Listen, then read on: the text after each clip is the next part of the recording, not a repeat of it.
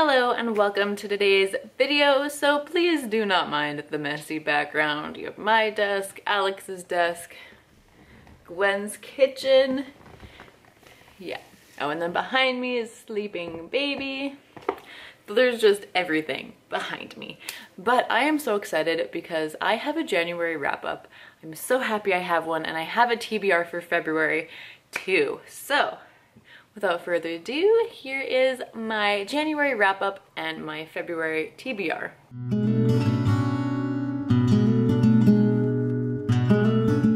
So I started my bullet journal um, again, and this is it. So I have in here to keep track of my feelings on each book.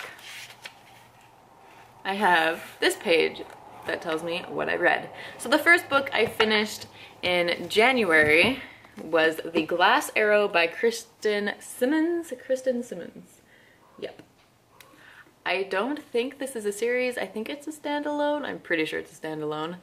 And I am mixed on it. I think I rated it a three, but it might be a two, but I, it's so hard to say, so I'll just keep it as a three, maybe, or a two. Ah, I'm so conflicted on this book. So this book has been described as The Handmaid's Tale and Blood Red Road. And I've never heard of Blood Red Road, and I did not like The Handmaid's Tale. I was pretty bored. I liked the beginning, but then I just, it just was so boring, I thought. I don't know, it just wasn't very exciting. This one was definitely a little bit more exciting, but it was very, very slow for some parts and just boring. And um, it just kind of like dragged on and then the exciting part was exciting and I just wish the whole thing was a little bit more exciting. So this is about a world where most women have been killed.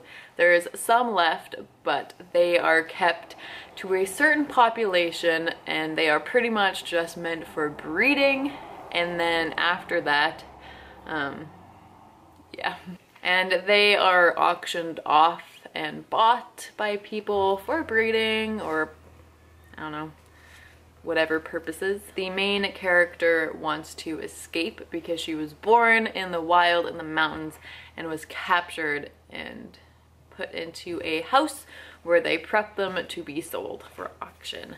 So she wants to escape and go find the family that she left in the forest when she was captured and to make sure they're okay. Then the next book I read was Shadow and Bone by Leigh Bardugo and this was amazing. I absolutely loved it. It was so good. I've tried reading it a few times, but then for some reason I always put it down. I don't know why, because I love her writing and I love Six of Crows. I love that duology. This one I love. I love her writing. I love the characters. I love the Grishaverse. I very much love this book. I don't understand why people love the Darkling so much, but maybe the next books will tell me why, but I don't understand why they like the Darkling so much. I read this and I I don't really see. Like I'm not a huge fan of the Darkling, but as a character, he's a very good character. They're all really well-rounded, good, solid characters. Loved it. I think I gave it a four out of five. Could be a five out of five, honestly. I really liked it. So the last book in this wrap-up portion, I haven't finished yet, but I will definitely finish it in the last three days of January. And it is Siege and Storm by Leigh Bardugo. And I am on page 296 and there's 435 pages, so I'll finish it soon. I am loving it so far. I love the story, I love the writing. It's so good. Love it. Love it. For my February TBR, first of all, I cannot believe it is almost February. Alex is going to be 24. I can't believe it's almost February. And it's, you know, it's just weird that, I don't know. I don't know. I feel like I haven't really gotten older and then I go back and look at my videos and it's like so much has happened from when I first started booktube to now that it's just crazy. So it's just weird. In February, I have five things that I want to read. I have three YA fantasy novels, one sort of self-help, self-development book, and one graphic novel. So I will show the YA books at the end. So the first one I'm going to show you is The Last Man Book 2 by Brian K. Vaughan. Pia Guerra. I'll just move it closer. There you go. And I read the first one right after Christmas. I liked it, went out, got this one, and I haven't read it yet.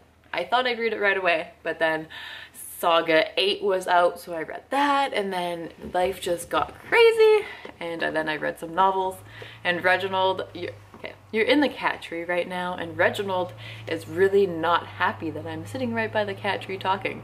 He is so mad, I'm scared he might jump at my face. Please don't. So this is about, like, I don't know, this disease, I guess, that wipes out all of the male population except for the main character and his male monkey and it's about that. Yeah. Then my self-help, self-development book is You Are a Badass, How to Stop Doubting Your Greatness and Start Living an Awesome Life by Jen Sincero. So I have started reading this already, but I stopped because I wanted to get some post-it notes so I could post it and just mark up the book on passages that I liked because um, there's a lot of good quotes in here and just ideas that I would like to make obvious. So when I flip through it, they're easy to find, easy to just skim over whenever I need to. So I started over this morning and yeah, that way I can post it and just highlight and mark it up. So for the novels I want to read in February, of course, the first one is Ruin and Rising by Leigh Bardugo. This is the last book in the Grisha trilogy, and I'm so excited. Uh, my goal was to read them all in January, but then that didn't happen. So this will be my February read. Exciting. Next I have Midnight Jewel by Richelle Mead. So this is the second book in the Glittering Court trilogy, but it's not really a trilogy, it's like a companion trilogy. So the first book was One Friend, this book is Mira, and the third book will be The Other Friend, I forget her name. So yeah, I have started it. I'm only on page 23 and so far it's good. I kind of forgot a couple things, but it's it's coming back to me. And this series was about um, these girls that would go to this finishing school type thing to prepare for going to the new world um, where they would meet husbands and have a comfortable life. So it was it was interesting. It was like a um, you know, a court in like a castle. It was that sort of thing with the girls learning how to be proper and the fancy dresses and etiquette lessons. It was all of that, but then when they moved, it was like frontier gold mining, western sort of a vibe. So it was an interesting mashup and personally I kind of enjoyed it. So I'm looking forward to reading this one and seeing what this character's story was because they really left it as a mystery. The first book, you only got that character's story. So I'm interested to see this character's story and I'm super interested for the third book. Her story, I think, will be very interesting. So the final book that I'm going to try and read in February is The Crown's Fate by Evelyn Skye. I read the first book with my friend and there's apparently a huge waitlist at the library, so she hasn't had time to pick it up and read it, so I'm just going to read it before I completely forget what happens in the first book. I'm already forgetting things, so I know I should probably read like a spoilery review or watch a spoiler review before picking up this book, but I should read it this month before I forget. So these are the books from my January wrap up and my February TBR. I hope you enjoyed this video and I'll see you in the next one. Bye.